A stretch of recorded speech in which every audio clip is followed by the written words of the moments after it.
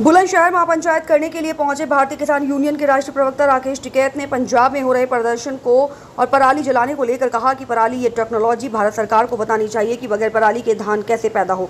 सरकार को धान पर भी बैन लगा देना चाहिए। पराली का निस्तारण सरकार की ज़िम्मेदारी है, सरकार बात नहीं सुनती तो सड़क पर आना ही एक रास्ता बचता है। वहाँ से आवाज़ सरकार तक जल्द चली जाती है। एक बड़ी साजिश है, वहाँ की सरकार के पीछे भारत सरकार भी है। जो ये भी चाहती है कि आंदोलन यहाँ सबसे ज़्यादा हो, पंजाब में खाद की खरीद भी नहीं हो रही है। ये भी एक बहुत बड़ा सवाल है। ओम प्रकाश राजभर के सवाल को लेकर बोले उत्तर प्रदेश में जैसे गन्ना समिति का चुनाव हुआ ऐसे ही सरकार बन जाएगी। आने वाले समय में चुनाव बचेगा ही नहीं। जैसे कोरिया में पर्चा भरा जाता है और चुनाव हो जाता है भारत में भी ऐसा ही होगा। बुलंदशहर से प्रदीप पंडित की खास रिपोर्ट। महापंचायत में क्या मुद्दे हैं? देखो मुद्दे जो किसान के इशू हैं वो बिजली के इशू है गन्ना भुगतान के हैं। एमएसपी गारंटी कानून का एक बड़ा सवाल देश में है। ये सारे इशू हैं हमारे। इन इशू के लिए हम यहाँ पर आ रहे। आज पंजाब और हरियाणा में भी ये कहा गया है कि वहाँ पर जो है प्रोटेस्ट चल रहा है रोड जाम कर दिए गए हैं। ये कहा जा रहा है कि पराली को लेकर के और खासकर जो है डी- ये खाद नहीं मिल रहा है। और एक और बड़ी बात ये जो मुद्दे हैं किसानों के जिन पर पराली जलाने को लेकर के एफआईआर हो रही है उन पर सर आपका क्या देखो ये टेक्नोलॉजी भारत सरकार को बतानी चाहिए कि बगैर पुराली के धान कैसे पैदा होगा? इस पे भी आप बैन लगा दो, धान पे भी।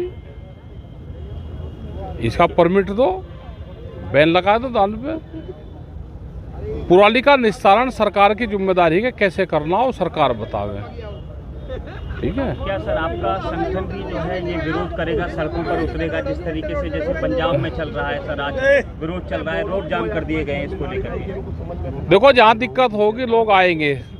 सरकार बात नहीं सुनती तो सड़क का एक रास्ता बचता है। वहाँ से आवाज़ सरकार तक जल्दी जाती है। और एक बड़ी साजिश वहाँ की सरकार के पीछे तो भारत सरकार भी है। वो भी चाहती है कि आंदोलन यहाँ सबसे ज़्यादा हो सरकार यहाँ की बदनाम हो। क्योंकि खरीद का वहाँ पे धान की खरीद भी नहीं हो रही वो भी एक बड़ा सवाल है। सर कल एक उत्तर प्रदेश के मंत्री आए थे पंचायती राज मंत्री। उन्होंने कहा है कि 2027 में चुनाव ही नहीं होगा यही सरकार बनेगी दोबारा। अब जब इतने भविष्यकारी करता है बन जाएगी जैसे यहाँ गन्ना समिति में हो या ऐसे ही हो जाएगी आने वाले टाइम पर तो चुनाव बचेगा ही नहीं यहाँ नाम का बचेगा जैसे कोरिया में है पर्चा तो भर जाता है लोकतंत्र है लेकिन चुनाव इसको चुनाव कहोगे क्या जो चुनाव हो रहे हैं यहाँ पे? भारत में चुनाव है अब वो ठीक है राम मंत्री वो तो भविष्यवाणी कर रहे वे उनकी जो प्लान है वो बता रहे हैं। उपचुनाव को लेकर के सर क्या कहेंगे? यूपी में उपचुनाव है नौ सीटों पर। ये तो ठीक ही रहेगा उपचुनाव में दिक्कत नहीं करने के।